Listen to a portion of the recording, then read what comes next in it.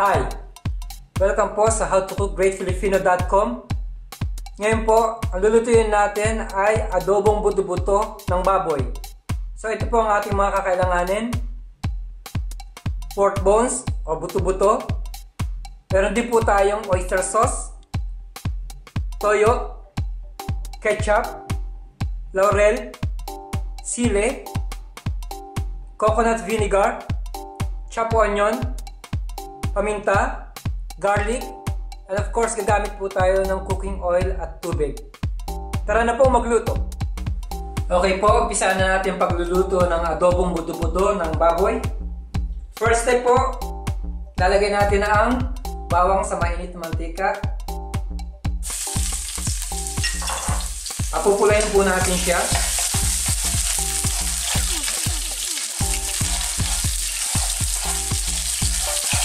Ngayon, lalagay na po natin ang buto-buto ng baboy.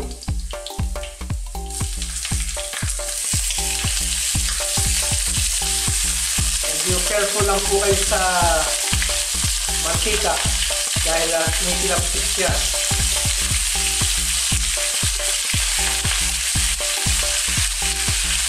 Ngayon po, lalagyan na natin siya ng ground black pepper.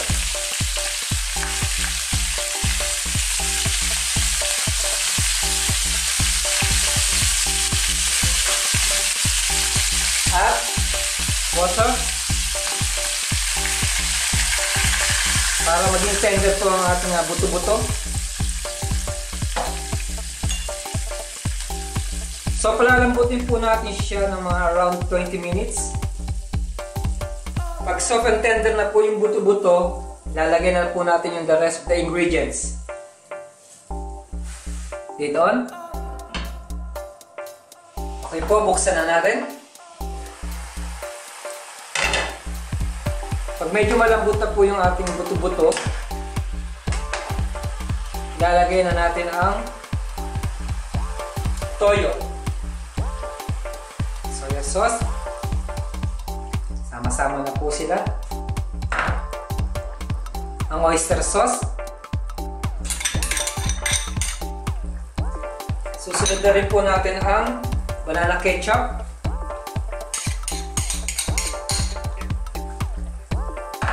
Ngayon po, susunod na natin ang sibuyas. Paminta at sili. At ang coconut vinegar.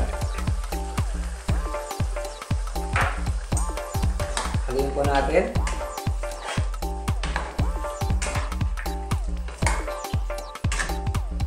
So, isisimmer po natin siya ng mga 15 to 20 minutes again para to make sure na malambot na ang ating uh, pork buto-buto.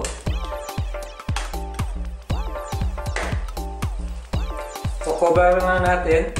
Nakover na natin siya, after 20 minutes, isi-serve na po natin siya sa bowl.